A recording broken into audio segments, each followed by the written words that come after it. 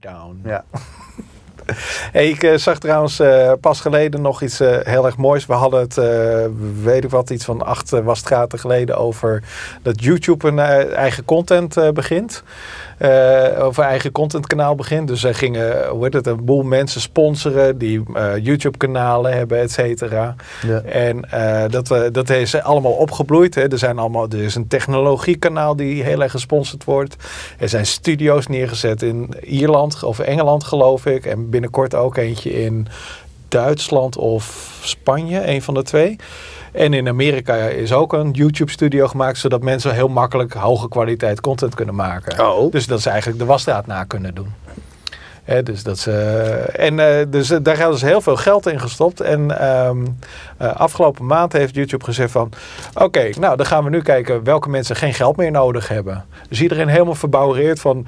Wat? Wordt, het, wordt de funding wordt stopgezet? En gaan ze een soort van het klassieke televisiemodel doen? Weet je wel? Dus programma's die niet renderen, niet de kijkcijfers halen... Die kappen we Ja, af. ja, ja. Uh, maar dat is heel erg grappig, want uh, YouTube die zei ze van nee, dat is een deal die wij met de kanalen hebben gemaakt. Wij jumpstarten kanalen, we kijken of ze renderen, we helpen ze met het, uh, we helpen ze eigenlijk aan de titel van, van YouTube. Oftewel dat je kan verdienen met het bannermodel van YouTube. Ja. En als dat werkt voor je, nou prima, dan hebben we je geholpen en dan word je vanaf dat punt word je vrijgemaakt. Dan hoef je je niet meer te betalen, want dan kan je leven van je eigen bannermodel of van eigenlijk het bannermodel van YouTube. Okay. Dus een hele slimme manier om contentproducenten te helpen. Ja. Uh, nou ja, goed, het is ook echt wel zo. Uh, in elk geval te helpen aan een verdienmodel, maar ook om ze te binden aan YouTube. Ja. En uh, dus wat ze nu hebben gezegd van oké, okay, we gaan een paar mensen gaan we lossnijden uh, van de tiet.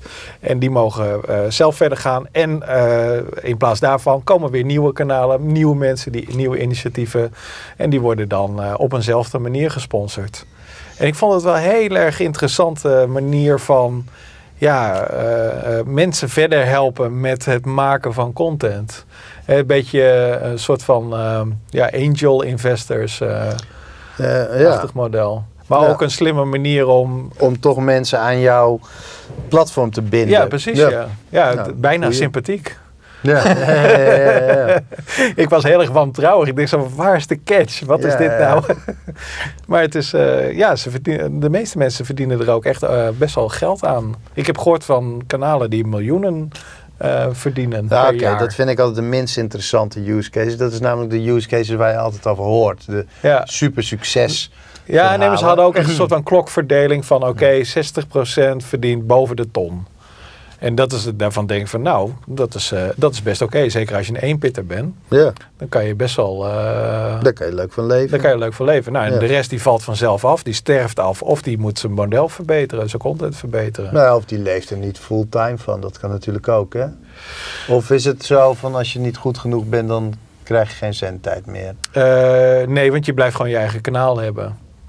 Dus je bent, het enige wat wegvalt is sponsoring. He, dus dat je actief uh, ja, geld krijgt elke maand om je kanaal op te bouwen. En daar gaat het eigenlijk om. Het is echt kickstart geld. Ja, ja. Dus zorg ervoor Ah, okay. dat uh, je krijgt tijd om zeg maar, publiek op te bouwen. Niveau. Om ja, ja. Uh, rugbereid te geven. Maar Ja, het is ook een proeven van jouw vaardigheden. Dus Ja. je moet niet alleen videoproducent zijn, maar je eh, moet bij wijze van spreken, als je het zelf niet kan, iemand eh, uitnodigen om jou helpen te promoten. Of Ja. om betere teksten te leren schrijven. Of wat ook. En dus eh, ja, ik vond het wel ja, interessant eigenlijk. Want het is best wel een goede schop naar televisieland. Ja, nou ja, het klinkt inderdaad heel goed. Het is een interessant model inderdaad. Dat mensen helpen Ja. en tegelijkertijd ze afhankelijk maken van jouw, eh, van jouw verdienmodel. Ja, goeie. Ja, en het is, eh, als je mij weet, is het ook eh, een soort van volgende iteratie van YouTube. Want ja, het, het, kan niet zijn, het kan niet zo zijn dat YouTube alleen maar kattenfilmpjes zijn. Ik bedoel, dat, dat is, daar zijn ze natuurlijk groot mee geworden van mensen die gewoon guitige situaties Ja. in het leven filmen en dat online gooien. Maar ja, er zit, er zit ook voor YouTube helemaal geen verdienmodel in. Dat is helemaal niet interessant voor ze. Nee. Eh, wat ze wilden is echt massa. En nu willen ze kwaliteit. En dat lijken ze nu ook echt te veroorzaken. Ja.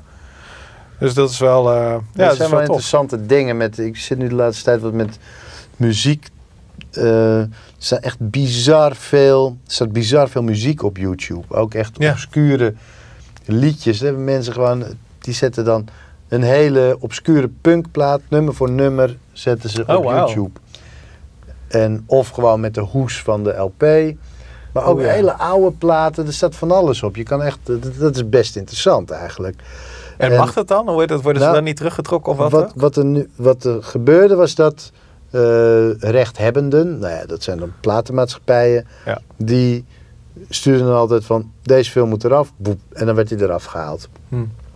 Wat er nu is veranderd is, ze hebben gezegd dat kan. Je kan zeggen deze video moet verwijderd worden. Ja. Als rechthebbende kan je dat zeggen. Maar je kan ook een linkje naar Amazon en iTunes Oh, ja. erbij laten Ja. zetten. Ja. Dat je het nummer Ja, dat zie ik ook wel eens met onze video's gebeuren. Oké. Ja, of tenminste niet met de wasstraatvideo's, maar vroeger wel bij kant B. Oké, ik had één keer een gelicenseerd muziekje erbij gezet. was van, nou, eh, deze is in Duitsland niet te bekijken, want daar zijn ze een beetje fuzzy daarover. Maar de rest van de wereld die krijgt een banner te zien. Ja, ja, precies. Of je krijgt dus of je krijgt een advertentie van 15 eh, seconden of nee. Nou ja, ik weet niet hoe. Ja, hoe dan ook, er wordt geld verdiend eh, op een of andere Dus manier. een van die twee of Ja. allebei kan. Ja.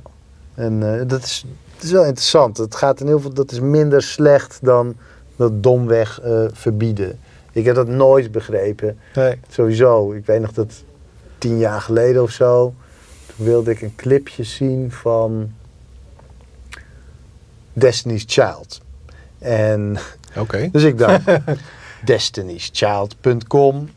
Daar staat vast het laatste clipje op. Ja. Alleen een teaser van het clipje stond daarop. Oh, wat? En ik zei, waarom? Maar dat is toch een promotiemateriaal? Ja. Dat Ja. is toch raar? Dat is net zoiets als eh, Ja. zeggen van... Ja, je mag maar 10 seconden van onze Adrie zien. Ja, ja, ja precies. Wat? waarom mag ik dat hele liedje niet zien? Echt die...